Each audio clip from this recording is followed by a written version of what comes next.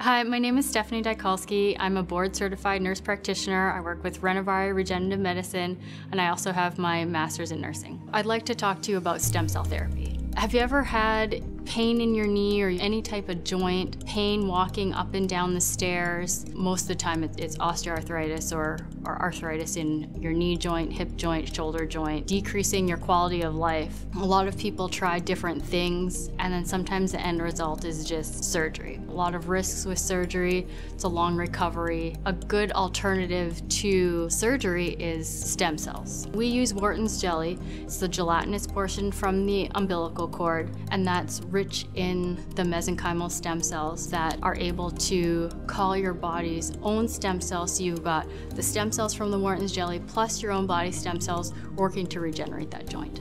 There's no blood typing that needs to happen. The body just accepts it as tissue and luckily there's been no, no rejections at all.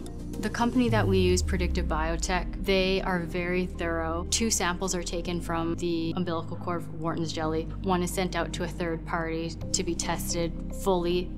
The other one is tested in-house by them to make sure that it, everything checks out. They look for 14 to 17 of the most deadly uh, diseases and it's cryo frozen. We are an FDA approved tissue bank, and so we're able to keep the tissue uh, in the office with us. So here at Renovare, we take the utmost care of not only the patients, but the product. So the stem cells from beginning to end, we monitor very closely. We make sure we have live, uh, viable stem cells and that we inject them under ultrasound guidance so that we know exactly where those stem cells are going. And that has led many of our patients to be very happy and have great, great results. If you have joint pain or a joint injury and you feel like stem cells is the right treatment for you, please give us a call at the office or go to www.renovaremed.com.